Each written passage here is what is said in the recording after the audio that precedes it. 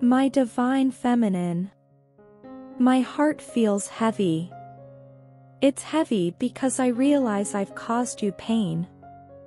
It hurts to think that my actions brought us to a place of hurt and distance.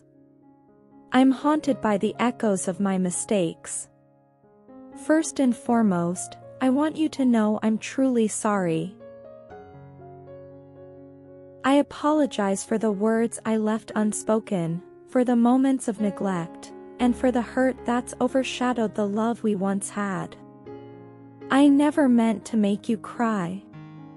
In moments of quiet reflection, I understand the depth of my shortcomings and see the void my actions created. I failed to appreciate the beautiful connection we shared. Life's trivialities clouded my vision.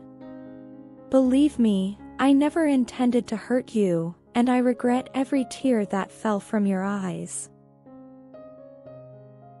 You are an extraordinary woman, and in my blindness, I lost sight of the incredible person you are. Your laughter, kindness, and the warmth of your love were the pillars of our relationship. I now see how I took them for granted, and I ache to make amends. You're special in ways words can't capture. Your smile brightens the darkest corners of my soul, and your touch feels like the gentle caress of a summer breeze. Your presence in my life has been a blessing, and I failed to fully appreciate it.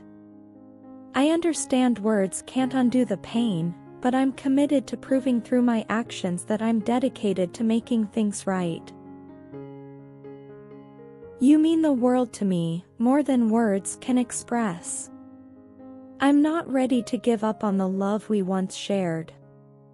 If you find it in your heart to give me another chance, I promise to be more attentive, appreciative, and understanding.